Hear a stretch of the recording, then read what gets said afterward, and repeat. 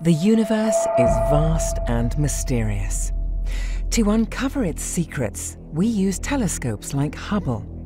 But nature has some tricks of its own to help us on our way. Tricks of the light that mean we can see very faint and distant galaxies, galaxies we wouldn't be able to see otherwise.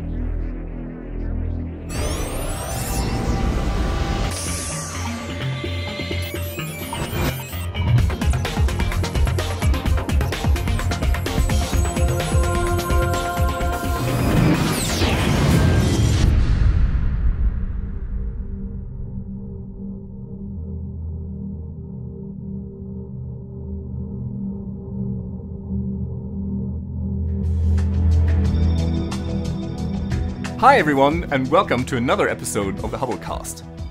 Now, Hubble has produced some of the very deepest images of the universe ever. But even these extraordinary images have their limitations. We know that there are galaxies that are simply too distant and therefore too faint to show up even in these extremely deep images. So, what can we do? Well, we can either build a bigger telescope or we can be clever and use one of nature's telescopes. I'm talking about a phenomenon called gravitational lensing. Take something like a galaxy. Full of stars, gas, dark matter and dust, this galaxy's gravitational force is so enormous that it affects the region it sits in and distorts the very fabric of the surrounding space. It isn't only galaxies that do this.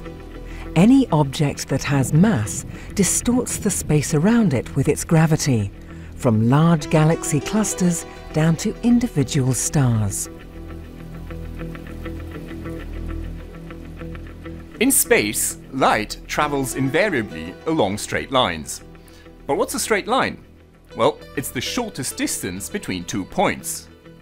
But in a curved space, the shortest distance between two points may not necessarily look particularly straight to us. Now what that means is that when a light ray passes very nearby a massive object that curves the space around it, the light ray is bent. As a result, the object, or rather the curved space around it produced by its gravity, acts like a lens, a gravitational lens that deflects light into our telescopes that would have otherwise never made it there. This deflection means that distant and faint objects can suddenly be seen peeking from around the edge of a nearer lens, although they may look quite different than expected. We see distant galaxies that have been lensed as arcs on the sky around their lenses. For example, the arc around this galaxy cluster is not a photographic error, but a second, more distant galaxy, deformed but visible. Or, if everything is perfectly aligned, we see a ring of light encircling the huge galaxy in the foreground. These perfect rings, known as Einstein rings, are so rare that only a few handfuls have ever been observed in visible light.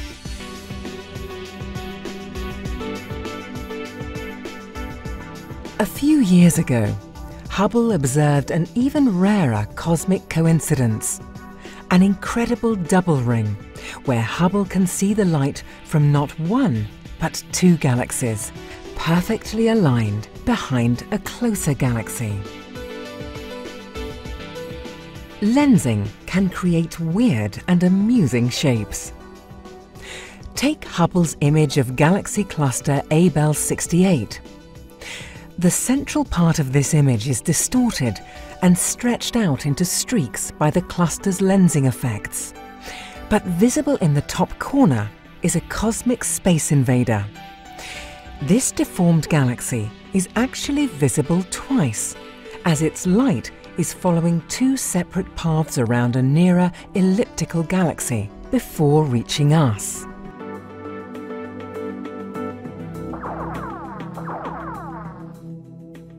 Now a gravitational lens not only distorts the images of background sources into funny shapes, but it actually makes them brighter. That means that when using a gravitational lens, we can actually see fainter and therefore more distant objects than would otherwise be possible. Also, the images are magnified so that we can see more detail, just like when using an ordinary magnifying glass. This isn't the only intriguing effect that gravitational lensing can produce. Take these five quasars, photographed by Hubble back in 2006.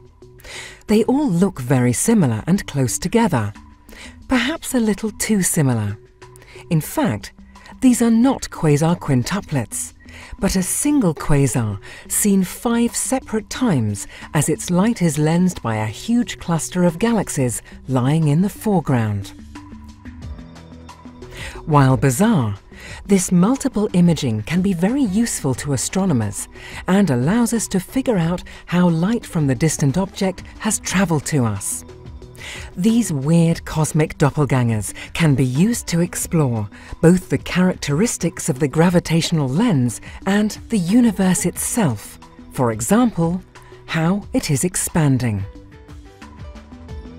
Hubble's Frontier Fields observing campaign, which began in October 2013, will combine the magnifying power of gravitational lensing with the light collecting power of Hubble to delve even deeper into the distant universe. So, watch this space. This is Dr. J, signing off for the Hubblecast. Once again, nature surprised us beyond our wildest imagination.